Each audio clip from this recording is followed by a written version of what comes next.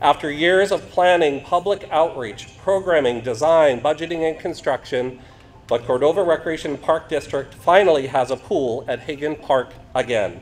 During our public outreach for this project, we heard from so many community members how they grew up in the Cordova Community Pool. They told us how important this place was during their childhoods and how they looked forward to bringing their children and grandchildren back here someday. The Cordova Community Pool has been a source of fun and inspiration for Cordova youth for almost 53 years. Today's celebration is a really a rebirth. The facility has been replaced, a more sustainable way to ensure that generations of families can come back to Cordova Community Pool for many years to come. Today is the day that we have all been working so hard for.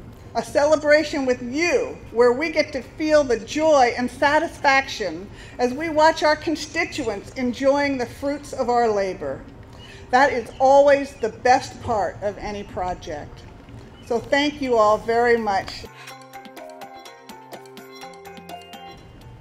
Kids of all ages, people of all ages are going to get to enjoy these pools. And we built that. If someone has a child or someone who can't swim, you can go into the activity pool. Or if you're a lap swimmer, you can come into the you know, competitive pool. But we're going to have lessons, we're going to have rec swim, uh, we're going to have adaptive learning programs, water polo, you name it, we're going to have it.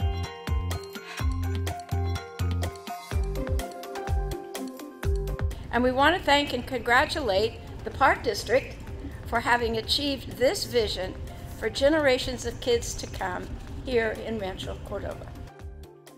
There comes a time you have to stop revving the motor and put the car into gear.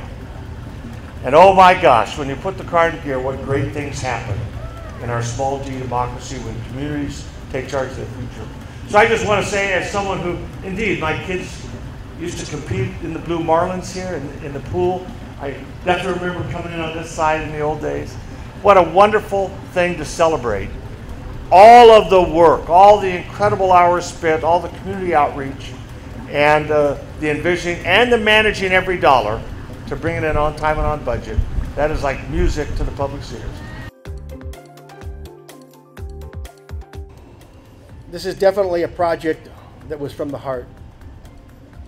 The passion that was poured into this facility will keep these two pools full and flourishing for the community members to enjoy for another 50 years.